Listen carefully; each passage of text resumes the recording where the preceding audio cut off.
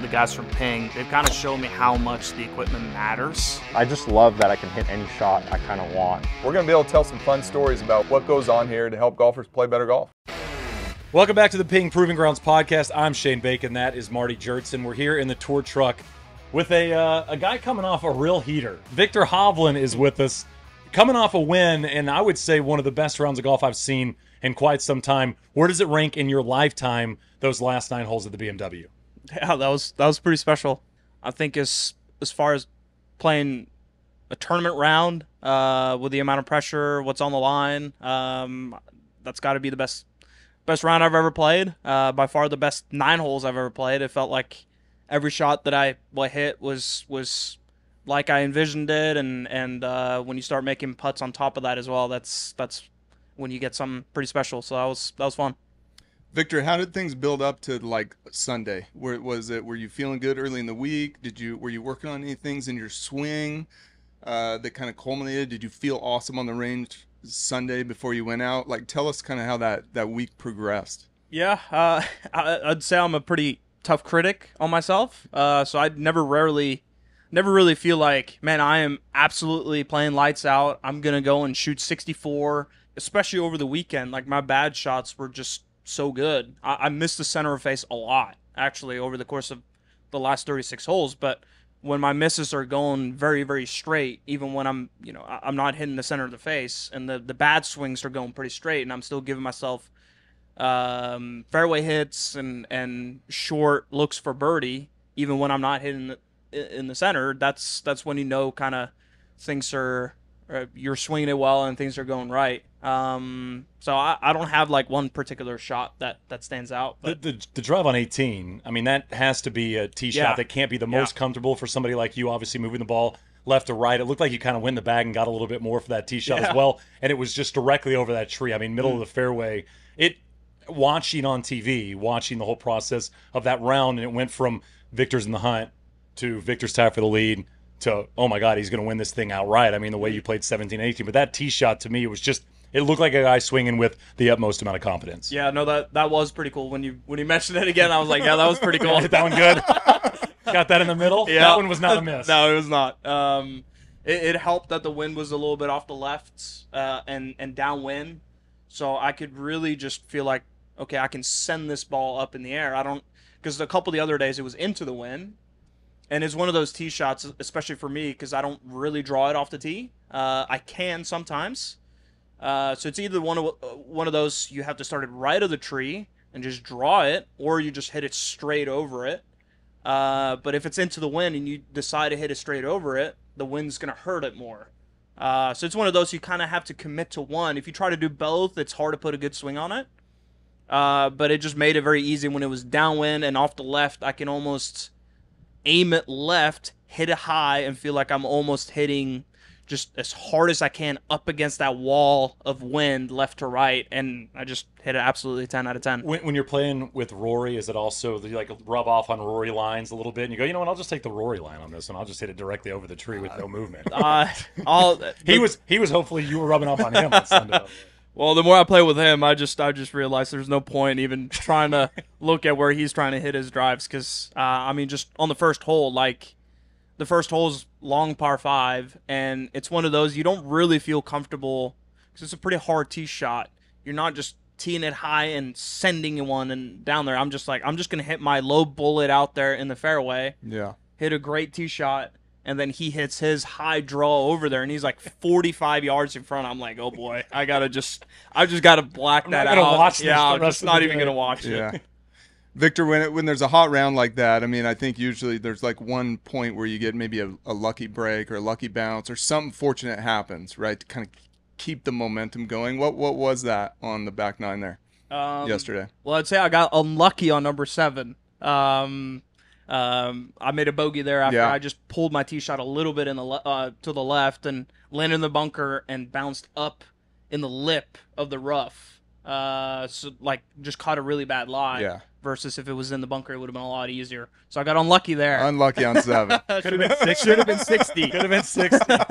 See now that's, that's 59. right attitude. exactly. Could have been 59. That's the attitude that shoots twenty eight. But uh, but it, it going back to your question, it was uh, I definitely had things going my way. For example, on uh, 14 was just Yeah. I, I pulled my tee shot left in the rough and didn't have the greatest lie, and I told Shay, hey, I you know if this was a better lie, it's a perfect nine iron, but it was sitting down. So if the nine iron comes out a little bit dead, it's going to be short of the green and rolls all the way down. I'm like, the only way I can get this close is if I hit this eight iron and it comes off hot and rolling and just lands on the upslope and rolls up. And that's that's exactly what it did and ended up to one foot. I Yeah. mean, that's it's what you you see in your head, but to actually pull that off, that's you know that doesn't happen very often. So that definitely, you know, that was definitely uh, my my Sunday. Yeah, that was amazing. Now, when you have your iron game like on point, like it was yesterday, do you are you purposely? And I think you talked about it uh, on your interviews last night, playing like way more aggressive. Like 17, none of the other players in the field hit it back back there behind that pin. Yeah. It looked like it was kind of crowned. I mean, Rory hit his putt back there, give you a little Yeah. read, right? Yeah. But you were the only one to get it past that pin. Are you are you playing way more aggressive uh, when you're on? Um, It's a good question. I, I mean, obviously, when you hit a lot of good iron shots, you feel that, man, I've last five iron shots I've hit, I've hit exactly where I've looked. So okay, why not hit the sixth one in there close? Mhm. You know, so it's just it's kind of gets into that mindset. Uh, but at the same time, when especially when I'm playing well, I almost never hit a full iron shot. It's almost like that uh, Tommy Fleetwood kind of abbreviated Yep. finish. Um, I just focus on a number and I feel exactly just okay. I gotta just stop right here, hit nine or a ninety percent shot as opposed to a ninety five percent shot, yeah, and the flight comes down a little bit, and especially for those back pins, yeah, is when I feel like I can hit those low driving iron shots and they'll bounce, you know, they'll ba- uh, take a little hop and then check instead of, for example, someone like Rory that I've noticed, he likes to hit those higher iron shots and kind of give it a full finish, which is great for the short pins and that's how he can stop the ball so quickly. But I think that's maybe a little tougher for those back pins. yeah, Because then you got to fly it all the way there. It just makes the target a little bit smaller. yeah, yeah. Viktor, the the last year, I mean, you haven't missed a cut since before the Open last year. You played in the final pairing at St Andrews, played in the final pairing at, at the PGA. The consistency has been quite incredible and remarkable, and obviously the wins have come as well. What has shifted? Has it been mental? Has it been golf swing? Has it been short game? What shifted in the way you've gone about your business to where it feels like each and every week you're kind of in the hunt, around the top of the lead, and, and obviously not missing any weekends? Yeah. Um, I would say my, my golf swing has changed a little bit. Um, I, but I I wouldn't say like my ball striking is better than it used to be. I'd say it's maybe a little bit more consistent, but um, I think for the most part it's been I've had the shots, but I've picked the wrong spots to go after certain pins. So a lot of it is strategy.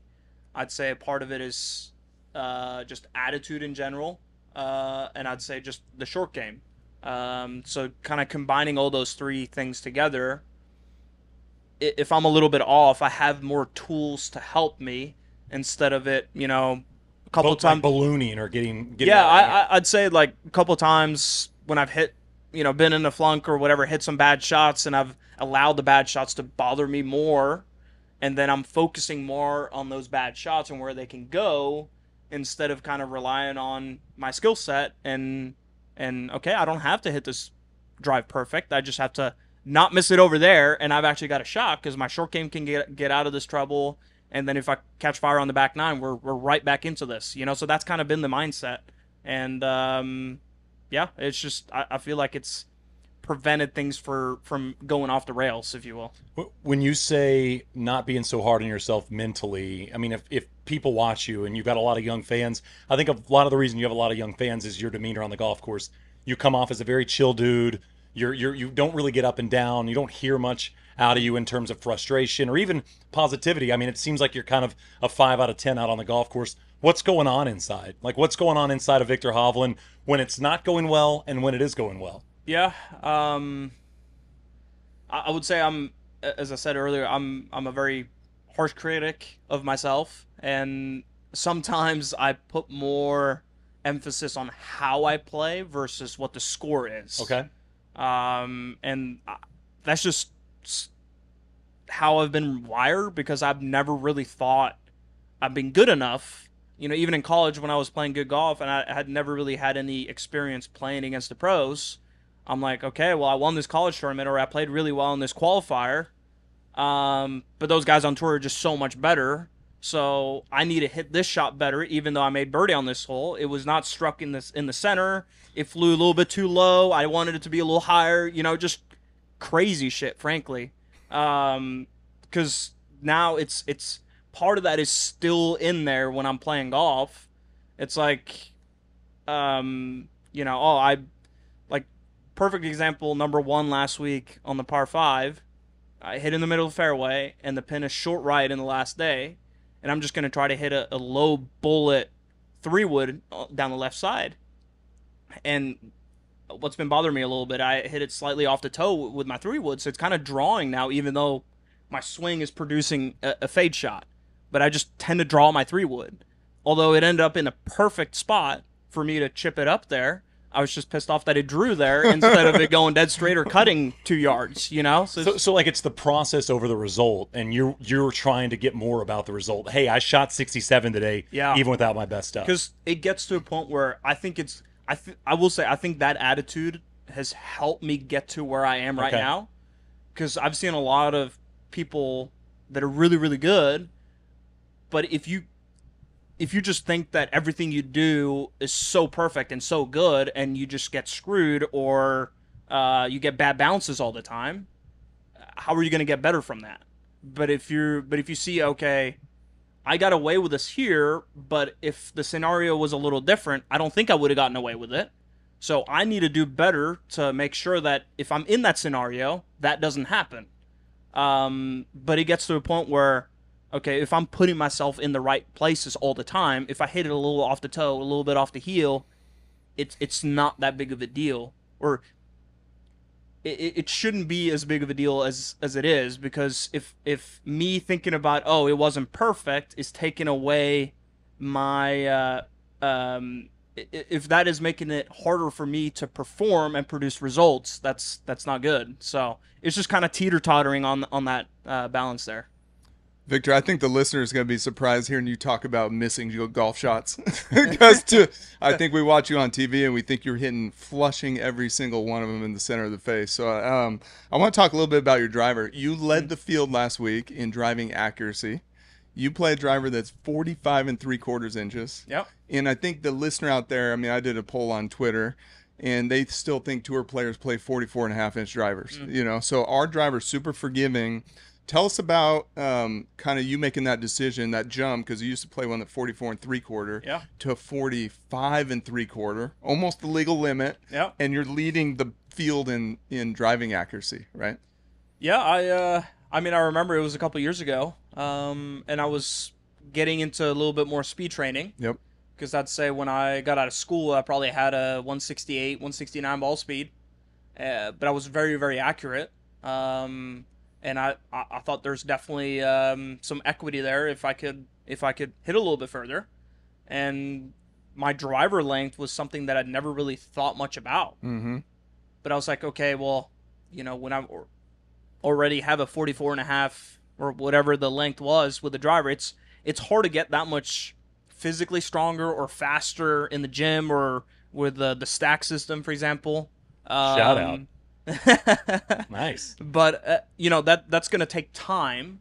But if I just get a driver that's longer, um, I you know which I did a couple years ago, and I was like, man, I I gained four miles an hour ball speed just Yeah. by doing that. Yeah. And then your brain realizes, man, I've got a longer club, and you can kind of take off the the governor that you have on yourself a little bit. Yep. When you've been swinging a shorter driver, so when your body's used to going faster, it kind of you open up that growth, uh, and then suddenly, you know, instead of just gaining four miles an hour ball speed, it got to five, six, seven, eight, and now I'm kind of cruising at 177, 178 ball speed, which is 10 miles an hour more than um, I had when I first came out of school. Yeah, that's incredible. I think you and Matt Fitzpatrick are the two players that have gained the most Mm. in ball speed from 21 till now, Yep. right? So it's kind of compounding some of the stuff you've been doing on the speed side, side with going to that longer length driver. Yep. Uh, I think this is a really good lesson because we fit a lot of folks at the proving grounds, and we give them a longer length driver. We have a really cool tool to evaluate their strokes gain driving. Like some sometimes a player will come in, they'll hit it super straight like you, and to get more strokes gained, you want to help them like hit it further and go into longer length Yeah. is a really good lesson. Not for everybody, but I think especially with your mechanics, your technique, how Yeah. straight you already drive it anyway. Yeah. Right. The, pr- the problem is if you have a golf swing that, you know, let's say the harder you hit it, the more it just spins. Yes. So your numbers just get all out of whack. yeah. So when you start adding on length on top of that, now longer driver, that's you, it's gonna make it spin even more. It's gonna be even more inefficient. So your swing has to be in a certain way where it makes sense to to add that extra length Yeah. because It- it's definitely a fitting process that that has to go into it as well. Yeah, we see that with like Joaquin plays a 46 inch driver, right? Does he really? Kind of similar to you, where Yeah. you got a lot of handle lean at Mhm. impact, a lot of side bend. So those kind of traits kind of Yep. stack up as a commonality we see. Yeah. Who is your pro athlete comp? Who, when you look out at professional sport, do you feel like that guy is kind of how I am on the golf course? Is there somebody that comes to mind? Uh, I, I don't watch sports enough to, to really have a, a good comparison, to be honest. Okay. Um. It's it's funny because I I mean this is a very big compliment, but l- I was watching this Steph Curry doc, Okay. and Steph is the way he goes about his business is hardcore, Okay. and then he's out on the court and he kind of has a very similar demeanor to you, where there are smiles and there is like a pick me up moment, and he's intense, but it's not too intense, and it feels like again I don't know if it's something you've trained yourself to be, but going into it trying to look positive on the golf course Yeah. probably helps you stay positive on the golf course. Yeah. No, I definitely think it helps. Um. That's that's a cool compliment. I I I don't watch the NBA at all. But What do you few- watch? What sports do you watch? Nothing. Nothing. No golf. Do you watch golf? Uh, hardly. So what do you watch at home? what do you get into when you're when you're on the road or you're at home? You're watching your iPad. What do you do? I just listen to podcasts. Like this one? No, Um, no big deal. Yeah, that I'll add that one to the list. Uh, no, I listen to a lot of podcasts. I FaceTime my buddies, and um, Read. I've started to read a little bit. Okay. I've, I've it's embarrassing, but I've probably only read about five books from cover to cover in my whole life.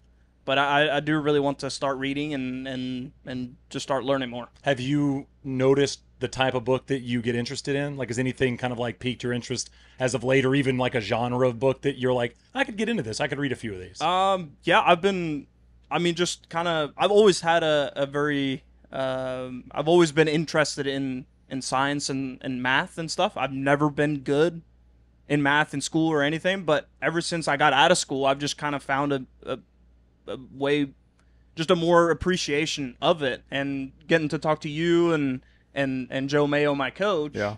uh, just explaining how, for example, I mean, in, in golf is a perfect example. The the golf doesn't or the golf ball doesn't know how much you slept or how you're feeling Nope. or what your P two looks like. it just it just knows the physics. Yeah. So if you want to have a better understanding of what actually goes on, you got to understand physics, Yeah. physics and math. Exactly. So if you want to, you know, improve your life or- make better decisions, it's it's physics and math. And I I, I don't know. I've just kind of uh, it's really interesting and to listen to people that understands this and and know what they're talking about. So I'd I'd like to educate myself in in that way a little bit better myself. Yeah, I think it's, I've been impressed by you. Viktor is one of the ones on our staff that calls us, you know, so we can talk about some of the physics and help you out a little bit. I was going to ask you a similar question when you were when you were driving from tournament to tournament Mm. during COVID. Uh, what were you doing in the car? You know, was it podcast, music, alone with your thoughts? yeah uh, at that time i was more kind of into the uh, the music realm uh, so i was just banging out music for 15 hours straight. I mean it was it was a grind. Um like a whole album, or was it like shuffle? I, it was it was shuffle but like new music or okay i'm i've listened to that album now. This this band just released a new album. I'll listen to that and and then yeah i wouldn't i wouldn't wish it upon my my worst enemy in that car but, um i had a lot of fun. But now i've just kind of i still listen to music but not as much anymore. Uh now i've basically just i mean i listen to some some days i mean i might listen to three four podcasts a day just spend like literally six hours just keep it in the background and and you know do whatever so i'm just constantly listening and and trying to learn some stuff So you grow up in Norway. You go to college in Stillwater, Oklahoma. What was that two week stretch like when you got there for your freshman year? You're like, this is where I live now. What was that like? How, how, how was that kind of a smack in the real world face? Yeah, well, it it is very different. Yeah. Um, but I think what would really help me was that I went for a visit uh, about a year and a half before I started, and visited uh, four schools. Oklahoma State was the last school I visited, and uh, one of my high school. Um, I shouldn't call it teammates because we didn't have a golf team, but we went to the same school in, in high school uh, where we had a golf program. Uh, Kristoffer Ventura went there, and um, when I just visited and he explained his schedule, he's like, "Yeah, I go to school a couple hours, and then we're just at the golf course all day." I'm like, "Sign me up, sweet." um, so when I committed and, and came back there um, in uh, what year would have been 2016, I guess. Um, it was just uh, it was awesome from the from the get go because it was very simple. Even though I'm I'm from Oslo, the biggest city Right. in Norway, I'm a I'm a city boy, but when I come over here, you know, moving all the way from Norway to come here and let's say I would have gone to Georgia Tech, I'm in I'm in Atlanta, Right. middle of Atlanta, a huge city. I would have been so lost. Mm. So for me, it was perfect that I just The college town made the Col- most sense to you. Yep, College Town was awesome, and everyone on the golf team just had a vision that okay, we're here to to play golf and get better and win the national championship, and uh, that just that environment was was awesome to be in. Viktor, tell us about just uh, like the golf season in Norway. Where did you play other sports growing up? Was it like summertime only golfing? What'd you do in the winter? And uh, what what did your childhood of playing golf look like? Yeah, it's, I started pretty early. My dad worked in St. Louis for a year, uh, and just brought a golf set back home. Um, so I was about four or five years old when I started playing. Uh, but when I was around 11 or 12, that's when I, I said, okay, Dad, I, I kind of want to play golf in, uh, indoors in the winter because I would just play in the summer, and then for the you know last five six months, I just wouldn't touch a club. Yeah. Uh, but I also played soccer, and I did taekwondo as well, so martial arts, and so I, so I kept pretty busy. Um, but when I, when I was about 12 or 13, I was like, okay, I, I want to pursue this golf thing a little bit. And you, I mean, you'd get you'd get six months of golf. Would you get seven months of golf? Like how how long I'd- would the season yeah, I'd last say, outside? I'd say seven months. Okay. Uh, it's very comparable to you know some places. in the Northeast or something like yeah, that. uh, or in Canada, or Yeah. you know, it gets it gets cold. Um, but what's what's different is you know even though there's snow uh, and there's a, it's a short season in some places in the states as well. At least when the golf course is open, they're in pristine shape. But that's not the case in Norway. Takes like a couple of months to get Uh, them like it, never, it never gets there. Well, you Um, you've made a trek back the last couple of years. I feel like like Yeah. around the Open where Yeah. you've gone back and played some golf. What is it like being a 25 year old going back to where you grew up and you're now this like you know national superstar? People are wanting to come out and watch you play as you're out there with buddies and family and things like that. yeah, is that uh, surreal? It is a little bit wild, yeah. Um, I just remember a couple years ago, I was just gonna play with a couple buddies of mine, and we have this uh, this software online that everyone has to register uh, to put down a tee time. Okay. So my buddy just put his all down. Yeah.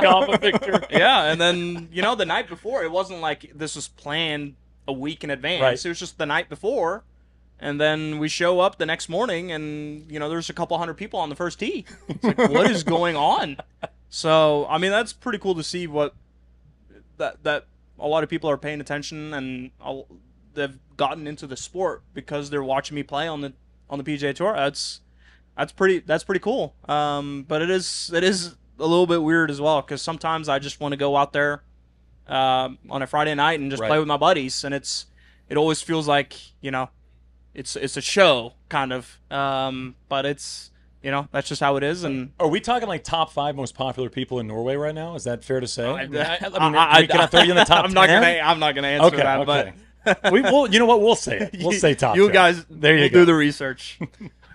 Viktor, I want to I want to ask you a question about like just improving your game. You know, I've heard you have the you have a f- interview you did where you talk about kind of compound interest and in making those little improvements day after day. How do you evaluate you know, from my standpoint, you've done some things like, you know, you're playing great, and you switch coaches or you tinker with your clubs, you try a longer driver. We see you with the double pump on the driver Yep. back oh, in the day. Like, Forgot about that. how do so you, cool. How do you evaluate maybe taking a risk uh, in in order to get better, right? Because you, we've seen a lot of players in the history of the game make a change like that and maybe not, you know, regress. You know, so what is your calculus there? How much courage does that take? Like, what is that process for you? Yeah, uh, I would say some of it is is maybe not always calculated.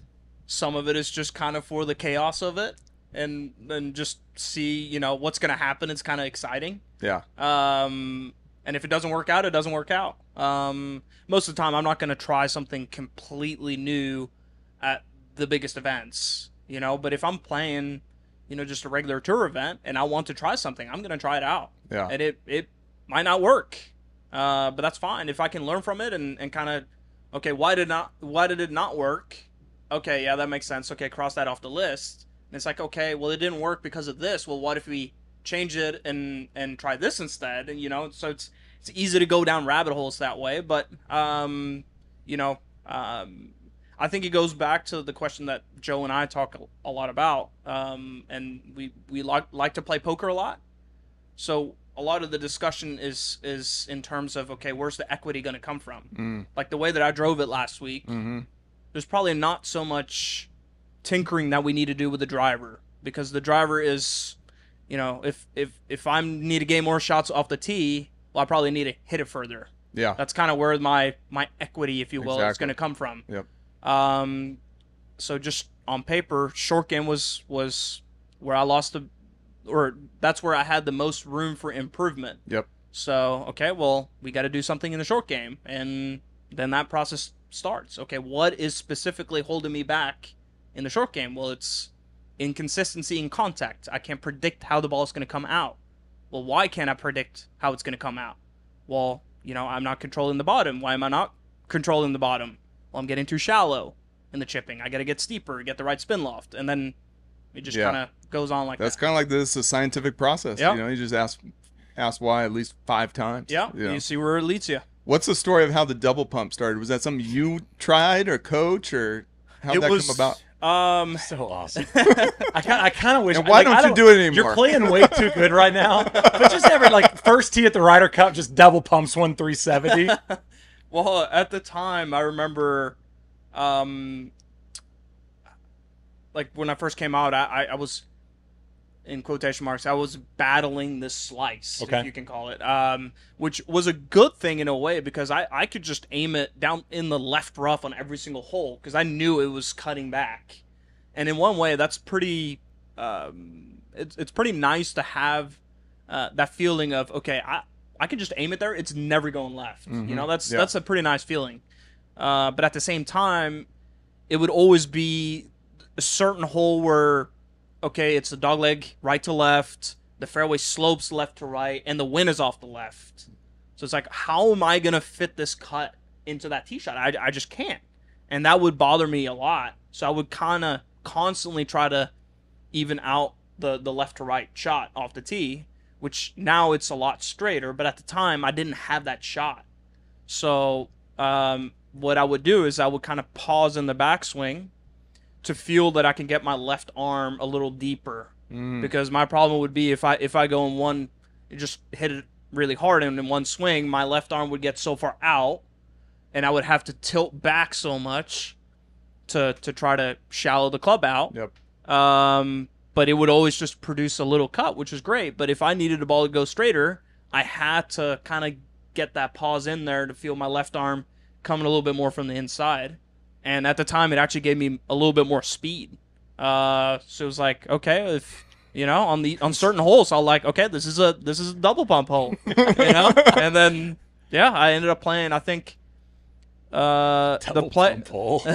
the, the play, playoff three years ago. So in 2020, I, I think I played one or two whole events. Literally every single drive was a double pump, uh, which wasn't a good thing, but uh, at least made it work that week. So Uh, Mar- Marty, th- this is a you. You guys have talked about tinkering, and I think something that pro golfers floor me by all the time is their willingness to tinker. Yeah. I mean, you know, you think about like Phil Mickelson back in the day plays two drivers, right? Yeah. I mean, you know, Adam Scott a few years ago at the PGA Championship used two putters. The willingness to use it into tournament round is, I feel like, something that amateur golfers aren't willing to do as much. That's a good hey, point. I'm I'm make I'm missing it here. I'm not making this swing. I'm not doing the right thing here. But they don't change anything about it. They just keep pushing and keep trying to kind of make the same mistake. Yeah, yeah. That's, that's one of the things I admire about you, Viktor. Is just that that that willingness to take that little bit of risk. You know. Yeah, and the the risk is fun. Yeah, um, but I, at the same time, it's like there's there's got to be a, a reasoning behind the Yeah. the risk or or the willingness to change. Because I, I do see a lot of it. I, I don't think the message should be go out there and change stuff every single day. That's Right. that's stupid. Right. Like, and honestly, I'm I'm surprised when I see world class players out here. It's like, oh, I putted it back. Give me a different putter. Right. It's like, wh- wh- what? Okay, why did you put it bad? Did you? Are you not starting the ball on line, or is your speed Are you reading bad? it wrong? Right. Yeah, it's like I, I'm pretty confident with my putter. I start the ball on line almost every single time. Like if I have a bad putting day, it's not because I'm not starting the ball on line. And okay, if it's a speed issue, well, we got to deal with that. It might be just the greens, or is the putter not allowing me to have good speed control? Well, generally my speed is pretty good. So why would I ever try a different putter? Yeah. It just Yeah. doesn't make any sense. Yeah. You know, either it's my my green reading or like I, I just see a lot of guys. Oh, I putted a bad. Give me a different putter. Well, what if it's a, a completely different? Yeah. Makeup root cause. You know. It, yeah. It's going to change your stroke, and now you don't have any idea how fast you know how how hard you have to hit certain putts. So that's that's just changing stuff just to change stuff, and hopefully it works out. There there needs to at least be a, a good theory and and and prediction of how the uh, change is going to work. Yeah, Viktor, I was going to bring up your putter because you you've used the same putter I think since we played the Yeah. Phoenix Open together in What year was in, that? in 2020. Okay. Uh, but is that you- is that has it been in the bag three years longer? Yeah, four years. Okay. Yeah. Yeah, four years, same exact putter, right? Yep. And so it's DS72, and you have a line in the on the flange and on the top, Okay. and on your iPing data, which are on our leaderboard at the Proving Grounds, there on our iPing consistency score. Uh, you, we see a lot of folks aim to even the best players in the world aim a little bit left, aim a little bit right. You were you were perfectly zeroed out. Is Mm-hmm. that something you work on and try to do in terms of like your green reading, green reading? Do you do drills to kind of work on your aim and things of that nature? I think it just uh, for me, I, I cannot putt without a line on the golf ball. Yeah. So the line on the ball is very important for me. And again, as as you mentioned with the putter, I have that double line or dual line. And number one, it helps me with lie angle uh, when I'm looking down at the at the putter. Yep. Because I have a tendency of kind of letting my wrists get a little flatter. Uh, so that will throw the two lines off a little bit. So when I can kind of feel like my left wrist goes a little bit more ulnar, Mm-hmm. more straight up, that's when the lines are are lined up and it's very easy to aim with that setup. And when that left wrist is kind of locked in like that, it, it helps produce good starting lines as well. So I, I think it's just it's a good putter for me because it makes me check a few boxes to get to where I want to be. Yeah, yeah. I want to go to Pebble Beach real quick before we let you go. Um, one, how many times have you watched the ice plant shot? And at what point, when you climbed down on the ice plant in that amateur, did you think, "Oh, I could actually hit this thing"? Yeah, uh, watched it quite a few times. Yeah. I, I mean, just looking at the some of the USAM coverage from last week, it it, it popped up I saw on a couple too, of yeah. occasions. So I'm like, yeah, that was that was a sweet shot. Uh, no, I I remember because like I, I I almost hit driver on that hole every single day, and I hit it down there. Was that the were you on four? Was that four? Four, yeah, And that was in the first round of the final. And I just looked down there. I'm like, I know the ice plant is is a bad. uh, You know, it's very hard to hit out Yeah. of. Uh, but I just looked at the line. And I'm like, it's sitting up perfectly.